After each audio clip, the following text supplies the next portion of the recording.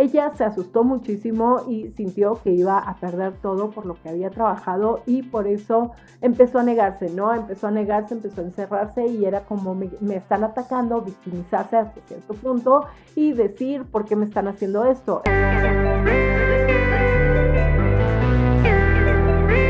ver ¿cómo estás? Para el video del día de hoy te traigo esta actualización de lo que ha estado sucediendo con Miku, quien por fin habló hace unos días, como tres o cuatro días, acerca de todo lo sucedido con las distribuidoras y qué sucedió con la paleta Lucy. Bueno, pues les cuento que en los primeros minutos del video nos explicó todo lo que sucedió con las distribuidoras y pues básicamente que sí hizo demasiadas, pero demasiadas cosas mal y las enumeró una por una. Habla de que las distribuidoras le pedían muestras y que ella decía que no, que no les podía dar muestras porque al final era un gasto innecesario o un gasto que no tenía que hacer o que no tenía presupuesto para este gasto. También habla de que les pedían catálogos y según ella, por no contaminar, pues no quería hacer catálogos, pero eran como pretextos y cosas que fueron sucediendo y que ella se fue encerrando en no, no, no y no se puede, ¿no? También cuando le llegaron los primeros alertas de que las cosas estaban mal, por ejemplo, lo de la lo del bicho en el en el este en el rímel, pues ella reaccionó muy mal y dijo, ¿cómo? ¿Por qué me están haciendo esto? Y se ponía como en el plan de víctima eh, en vez de escucharlas, ¿no? También cuando le dijeron todo lo de las etiquetas que estaban mal pegadas, que no estaban bien, ella explica que tenían que comprar una máquina para pegarlas, que las hiciera la máquina, que esta costaba 50 mil pesos y que ella dijo, no, no tengo presupuesto, no lo voy a hacer, ¿no? Dice que lo de las etiquetas también su esposo le había dicho de, oye, está pasando esto, hay que comprar la máquina y ella, no, no, no, no se puede, no hay presupuesto, ¿no? Cosas que se fue encerrando y a todo decía que no y no se podía.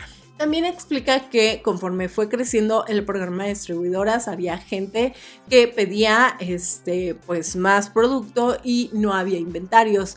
Y eso dice que es totalmente su responsabilidad porque al final de cuentas, al al decir que son una empresa pequeña, que son siete personas, que son una empresa eh, artesanal, pues decía no, no tengo inventario, no tengo esto y que les quedaba muy mal a sus distribuidoras. También habla de que a Jenny, la chica que se encargaba de las distribuidoras, pues la aventó, la aventó eh, y le dio demasiada responsabilidad, cosa para la cual ella no estaba capacitada, no lo podía hacer y a ella no le importó. Fue de tú aviéntate y haz esto, ¿no? Cuando no tenía que haber sido así porque tenía que haber contratado pues a gente que estuviese eh, capacitada para hacer este tipo de situaciones y cosa que ella por pues inmadurez, me imagino que por inmadurez sobre todo la aventaba y le decía, tú hazlo, tú hazlo, tú hazlo. También dice que había gente a su alrededor, la cual no le decía las cosas y ella proponía y decía, sí, vamos a hacer esto, toda emocionada, salía, lo hacía y la gente a su alrededor pues no le decía, oye, a ver, cálmate, las cosas no deben de ser así.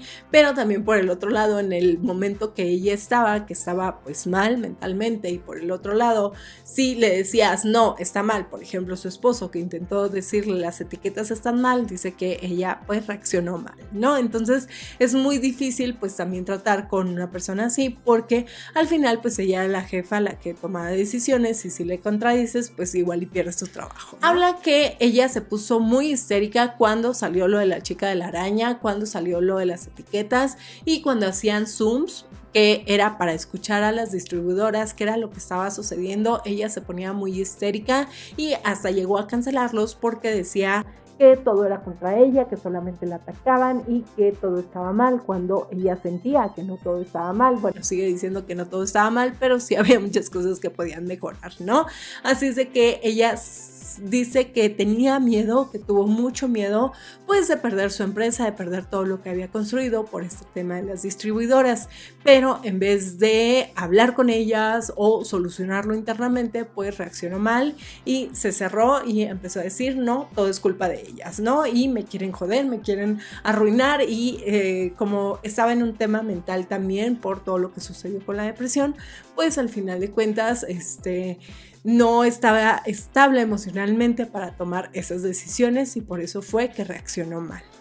Una vez que explica todo lo que ella hizo mal, también explicó todo lo que estaba pasando por detrás. Ella dice que muchas de las chicas se dieron de alta solamente para consumo personal y en ese momento pues la marca no podía permitirse tener chicas a las cuales les daban el maquillaje tan económico porque el punto era pues que compraban más. Entonces si compran más pues obviamente que te puedo dar ese descuento. Si compras una, dos o tres piezas pues te estoy prácticamente regalando el producto, ¿no? Entonces que detectó esos casos y que eh, empezó a poner bloqueos de tienes que comprar un mínimo de tanto, tienes que hacer esto para que a ella también le saliera. También dice que las chicas se molestaron mucho porque ella abrió la tienda y que después de la pandemia, después de que no habían podido vender toda esa situación, ella tuvo la oportunidad de abrir la tienda y dijo pues lo voy a hacer. Las chicas se molestaron muchísimo porque pues si la gente podía ir a la tienda y conseguirlo más barato, pues les estaba arruinando el negocio a las distribuidoras. Otra de las situaciones muy interesantes de las cuales habló que estábamos esperando fue lo de la paleta Lucy. Ella dice que fueron 500 piezas al principio y que esas 500 piezas pues la fórmula estaba mal porque le habían puesto demasiada glicerina y como tenía demasiada glicerina lo que pasó es que se oxidó con el PAM que es el, botecito donde viene la sombra y al final pues esto caducó y sucedió esto, ¿no? Ella pues lo intentó tapar, obviamente no lo dijo con esas palabras, pero es lo que dio a entender y que a, a este momento la fórmula ya está bien, ya está todo correcto, sin embargo esas 500 piezas pues sí tuvieron ese problema. Así es de que esto es lo que contó Miku acerca de las distribuidoras. Yo lo que siento o lo que me transmitió con este video es que ella se asustó muchísimo y sintió que iba a perder todo por lo que había trabajado y por eso empezó a negarse, ¿no? Empezó a negarse, empezó a encerrarse y era como me, están atacando, victimizarse hasta cierto punto y decir por qué me están haciendo esto en vez de eh, verlo fríamente, pensar de, oye, me lo están diciendo porque las cosas están mal, pero también eso es muy difícil si no estás emocionalmente estable. Estando emocionalmente estable es difícil, imagínense estando inestable emocionalmente, ¿no? También por el otro lado, el hecho de que sus allegados, sus empleados, entiendo por qué no se lo dijeron, pero también si como pareja le dices, oye, estás haciendo las cosas mal y te contesta de esa manera, pues es que te, ¿qué hago, no? Entonces sí debió de haber sido muy, muy difícil, pero al final acepta que lo mejor que le pudo haber pasado fue esta situación, esta crisis y el hecho de las demandas, porque gracias a eso reaccionó, se dio cuenta que las cosas eran graves y cambió absolutamente todo. Y bueno, pues en resumen, la verdad es que me parece muy bien, me parece muy bien que le haya sucedido algo tan grave como esto cuando la empresa es pequeña aún y es artesanal, como ella lo dice, porque de los errores se aprende, se aprende y se aprende demasiado, ¿no? Entonces creo que no va a volver a suceder algo como esto y de aquí para adelante esperemos que la empresa vaya a mejor. Pero bueno, como siempre les digo, esta es mi opinión. Por favor, déjenme aquí abajo en los comentarios qué es lo que opinan al respecto. Bueno, pues esto fue todo por este video. Espero que les haya gustado muchísimo y recuerden que si quieren pertenecer a esta familia de Drama Lovers, por favor suscríbanse a este canal porque hay videos diarios con mucho, pero mucho más drama.